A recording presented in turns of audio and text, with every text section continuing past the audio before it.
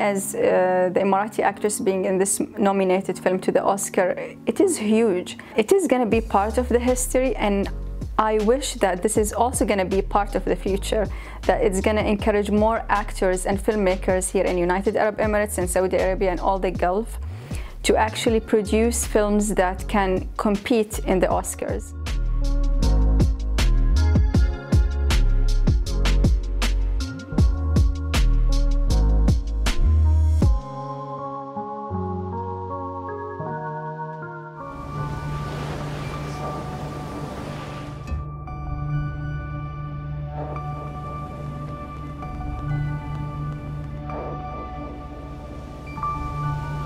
إحنا نملك الشجاعة انه نقدم بناتنا للموية.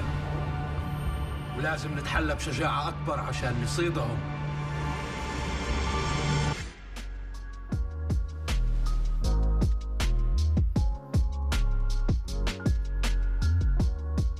As the mother in uh, Aisha, as the character in the, in the movie, uh, she is absolutely in a very confusing uh, situation because her husband decided actually to not do this sacrifice. And she is taking the society blame for not doing that and being so different from the other women in the island. She began to be isolated and people dislike her and she's taking that blame though that she is not the one who made this decision it's her husband.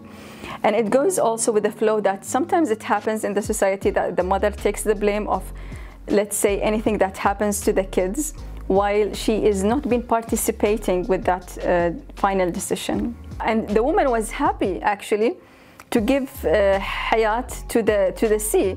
Like her dream came true and it is really intense to see a mother who is happy to serve the society expectations